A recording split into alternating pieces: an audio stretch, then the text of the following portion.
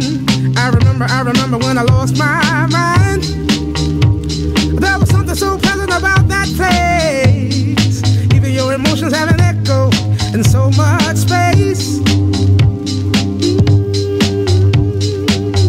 And when you're out there without care, yeah, I was out of touch.